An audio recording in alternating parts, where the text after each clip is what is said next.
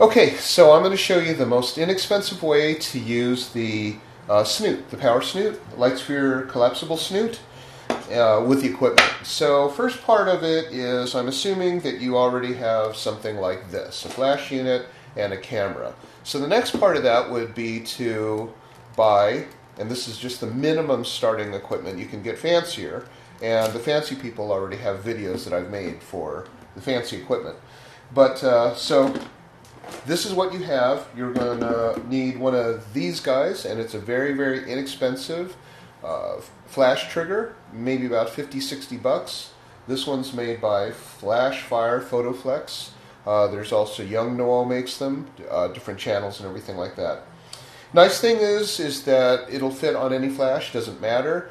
Make sure that you put your flash not on radio, not on slave mode, not on anything, but regular, regular flash. I'm going to put this one actually on the manual mode because there's no TTL between these guys. Okay, so this one goes in your flash shoe like this, and now we're going to test it, and so it fires. Okay, so now that I know it'll fire like that, we're going to need to mount this on something so that we can get the cool effects.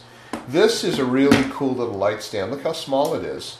Um, and this can go in my little carry-on case or whatever, but it actually extends to a full height. And this one's, it's because it folds onto itself. This one's called a Manfrotto 5001B. I believe Phottix makes the same style of light stand, but this is just a really super telescoping light stand. It'll, it'll go up very, very high. Okay, next part I'm going to put on is a roller ball. This is a Joby roller ball. And the reason why I want to put a roller ball, I'll show you in just a second, but we want to have the ability to really quickly change the angle of your snoot. So, and I've got this this little clip. You can also use the one that came with your flash. It's the foot that came with your flash. If you can't find it, go look inside the box. Hope you didn't throw it away. Now this goes onto the little hot shoe adapter part here, like that, and clips on like that.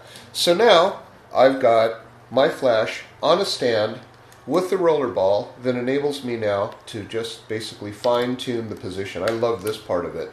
Because otherwise, if you don't get a roller ball, you're going to have one of those ratchety things that only goes up, down, right to left, and it's very, very slow. This is super fast.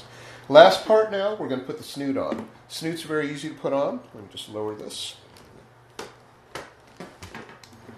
Again, we want to put the snoot on when it's collapsed. So face down, collapse it like that, angle it on at a 45 degree angle like this, and then unfurl it, pull it out like that, and then we're going to attach the working part of it, which is the grid. The grid makes the light come out intensely in one direction only, and that's where you get the cool effect. That's where you get the spotlight effect. So now that this is on, and I've got a slave on it, I can now get ready to do some really cool directional photos. This being on manual, this camera is now going to be set on manual. So we're basically flying without any controls whatsoever. In the next part of this video, or a different video, depends on how we configure it, I'm going to show you how to set these things up on manual and just kind of fine tune it until you get the creative effect that you're looking for.